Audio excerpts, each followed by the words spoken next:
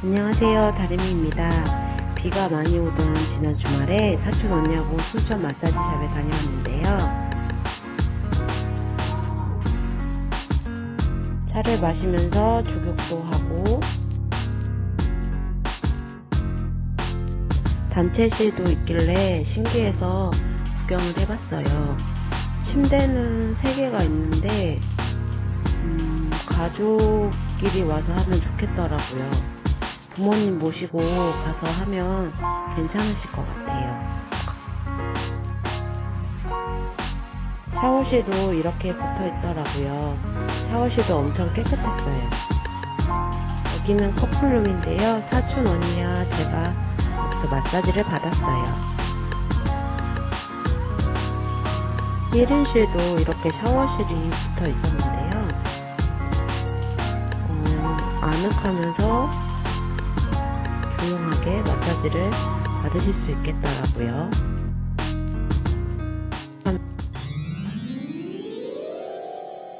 촬영하느라 사촌 언니부터 마사지를 받았는데요. 스포츠 마사지부터 시작했어요. 보고 있는데 제가 다 시원했고 나중에 직접 제가 받아보니까 언니가 왜 시원하다고 하는지 알겠더라고요. 원래는 옷을 다 벗고 마사지를 받는데요.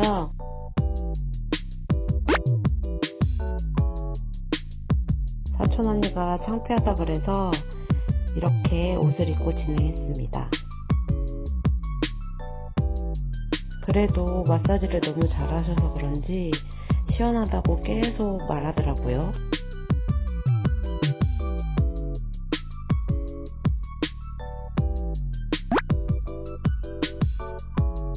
언니를 마사지 해주시는 분은 경력이 무려 30년이라고 해요. 마사지를 처음 받으시는 분들은 정말 잘하시는 분한테 받으셔야 돼요.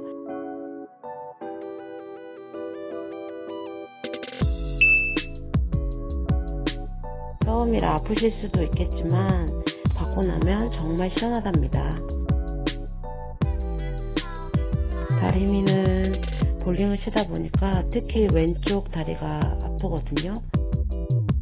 그래서 마사지를 주기적으로 받고 있어요. 안 받으면 확실히 쑤시고 계속 아프더라고요.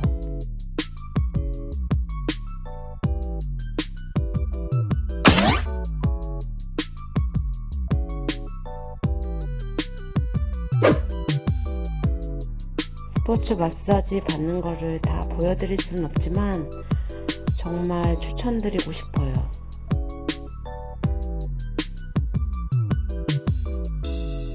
언니가 특히 등이랑 어깨, 목 이쪽이 아프다고 했거든요.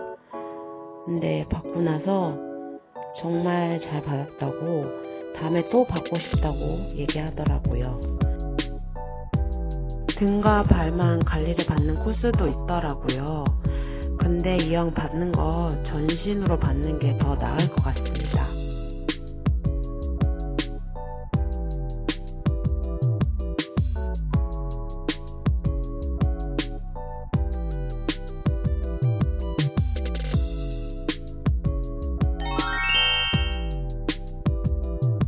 기계가 하는 게 아니고 사람의 손으로 하기 때문에 아픈 곳을 어떻게 딱딱 만져주시는지 정말 기분이 좋더라고요.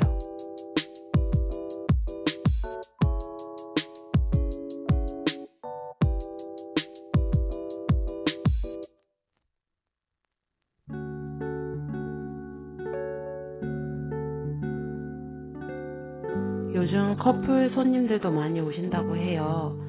그만큼 마사지 문화가 많이 보편화된 것 같습니다.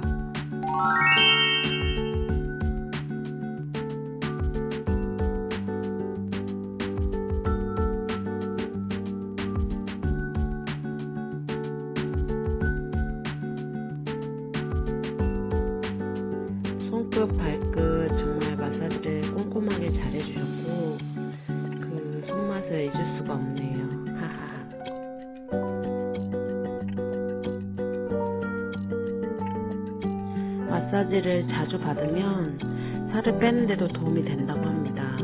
다리미도 맨날 받고 싶네요. 이 선생님은 산전산후 마사지를 담당하고 계시는데요. 힐링 아로마에 가시면 꼭 이 선생님한테 마사지 받으세요. 다리미는 산후 관리도 제대로 하지 않아서 지금까지도 아프게 지내고 있는데요. 출산 후에는 꼭 산후 마사지를 받아보시기 바랍니다.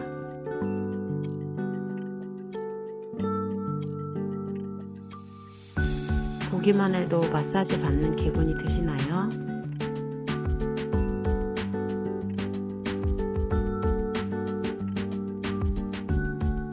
이 영상을 보시면 조만간 마사지를 받으러 가실 것 같은데요. 시원하게 잘 받고 오셨으면 좋겠습니다.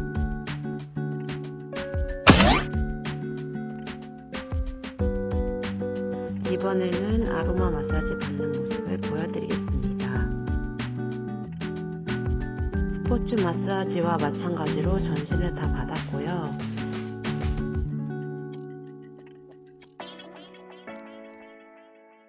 아무래도 스포츠 마사지보다는 더 부드럽고 느낌이 더 좋습니다. 영상을 보시면서 한번 느껴보시죠.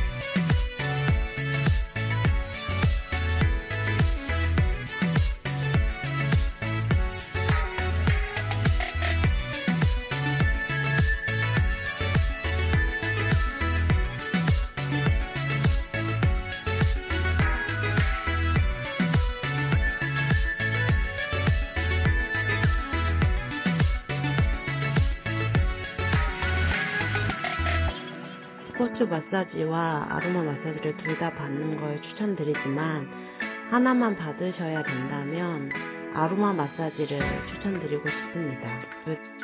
요금은 1시간 기준으로 만원 차이가 나거든요.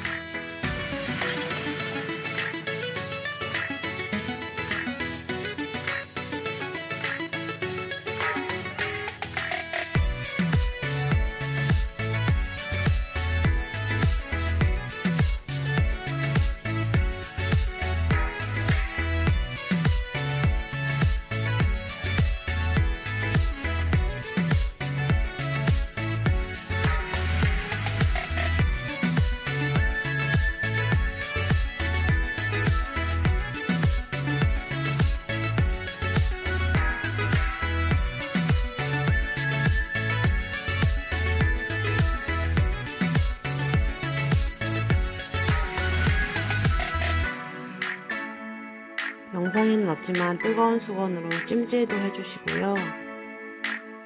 피로가 싹 풀리더라고요. 전신 마사지가 다 끝나면 앉아서 스트레칭을 받으며 마무리됩니다.